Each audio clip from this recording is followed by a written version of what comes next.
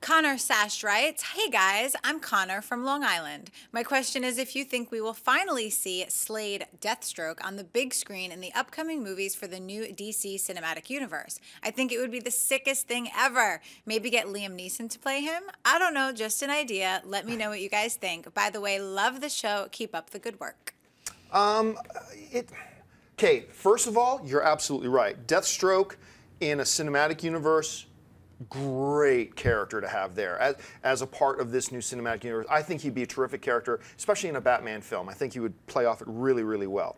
However, because he's such a major character in the television show Arrow, I have a feeling they're not.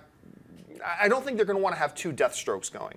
And Deathstroke is a very significant character in Arrow, so I don't think they're going to want to cause any confusion with saying, here's one version of Deathstroke, here's the other, in their cinematic universe, one in the TV universe. I think they're going to avoid that. I could be wrong. They may be very comfortable having two different versions going, and if they do, great. But I have a feeling they're not going to. Hope I'm wrong, but for now I'm going to say I don't think they will. What do you guys think? I think that eventually they will, but they'll wait till the Arrow TV show's over, wait a few years, and Mm. then he'll show up in a Batman movie. But as far as Liam Neeson, no, they're not going to have Liam Neeson. He was already Ra's Al Ghul and Chris Nolan's, and even though it's Yeah, a different universe, weird. it actually makes it kind of worse because they don't want to tie themselves to Yeah, they, that old they completely universe. want to dissociate themselves from So the I, Chris I'm Nolan thinking maybe like a Viggo Mortensen or something like that. Oh, I didn't even think about that. That's a nice one. Yeah, he would be interesting. I mean, if they if they activated it now, but if they if they wait ten years, Viggo not so much. It's like it's like a ten year down the line thing. As far as I think, Deathstroke won't be cinematic for at least ten years All right. because Arrow's going to rock for at least